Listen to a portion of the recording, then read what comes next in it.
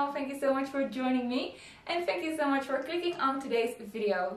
Today is not really a fashion video, but it is a video with some very exciting news because next week, starting from Monday, the Shop Until You Drop Fashion Week is coming back to my channel. So I have done a Shop Until You Drop Fashion Week once before here on my channel it was to celebrate the new spring summer season and I wanted to do it again here on my channel for the autumn winter season. Starting from next week on Monday I'm going to post a video every single day from Monday till Sunday with loads of fashion inspiration for the new season. Now the shop until you drop fashion week is something that I have come up with myself. So the shop until you drop quote is of course very known, it rolls quite easily off the tongue and I really like that quote so that's why I decided to name my fashion week after that. So basically what's going to happen is I'm going to shop so much that by the end of the week I'm literally going to drop because I cannot shop any longer. So that's kind of like the story behind the name.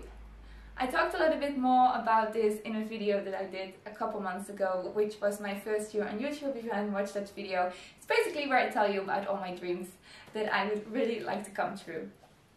So I really, really hope that you will join me next week. So please hit that subscribe button, turn on the post notification bell so you will not miss any uploads next week. And of course, in the whole future, I would really love it to have you here to join our community. And for some who are very interested, I will put in some little sneak peek clips of what's to come for next week. And I will see you all on Monday. Bye now! The next look, and I think this is called like winter chic, whole white outfit.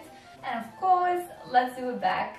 I feel like someone who works at the circus, you know, who likes with a microphone and is just telling you about all the acts. I kind of get the same vibes. God, oh God, they just could have sent me a smaller box apparently. Jeez. I would actually probably wear this top with a more like skater skirt to give it a really 60 vibes because this is giving me 60 vibes like, yeah, just no words. Boots.